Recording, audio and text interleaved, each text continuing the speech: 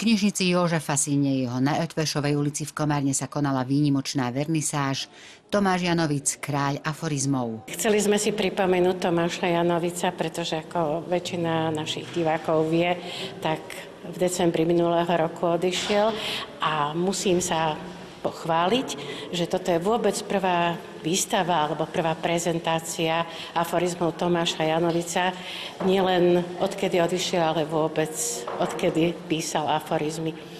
A jeho dcéra Táňa, ktorú väčšina čitateľov pozná z dreveného tata, tak odkazuje, že veľmi pekne ďakuje Komárnu za to, že ako prvá knižnica urobila túto výstavu. Kurátorom výstavy je ilustrátor, karikaturista, typograf a publicista Fero Jablonovský, ktorého s Tomášom Janovicom spájalo nielen silné priateľstvo, ale aj spolupráca. Kráľ aforizmov, takého už nebudeme mať, teda aspoň za môjho života.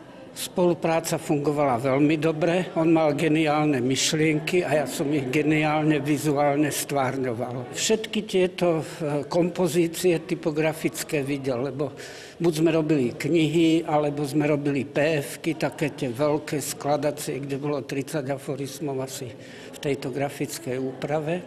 No a potom sme dlhé roky robili každý týždeň jeden aforizmus na Facebook on mi to poslal, ja som to urobil a nikdy nemal pripomienky. To sú v podstate tieto. Ja občas niečo spisujem, ale pretože viem, čo je dobrý aforizmus, tak veľmi málo.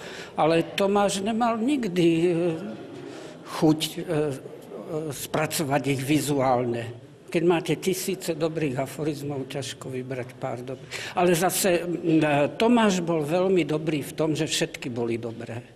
Čiže ktorýkoľvek sa vybral, tak bol dobrý. Samozrejme, že sú stovky, ktoré tu mohli byť, ale nie sú tu. Ďalšie si môžete pozrieť na facebookovej stránke Tomáš Janovic. Okrem toho ich ukrývajú aj jeho knihy. Všetko, čo napísal, bolo publikované, pretože on toho naozaj nepísal veľa, ale dobre. Takže dá sa povedať, že posledné roky naozaj robil jeden aforizmus e, týždenne, to dával do týždňa a dávali sme ho potom na Facebook. No, čo sa týka aforizmov, troška by som pokritizoval ostatných aforistov, ktorí sú hrdí na to, že napíšu desiatky tisíc aforizmov. Sú aj webové stránky, kde ich publikujú každý týždeň niekoľko stoviek, lenže to sa nedá ani prečítať. Alebo to sú také, že prečo sa s tým trápia.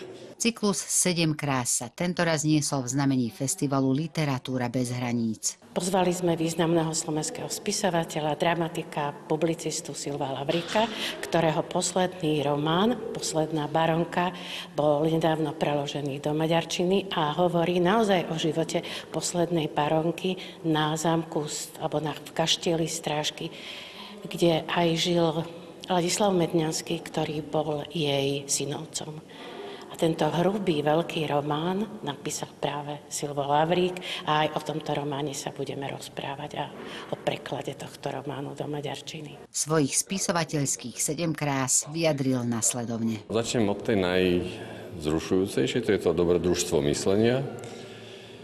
Potom samozrejme myslenie sa odohráva v jazyku, to máme dve.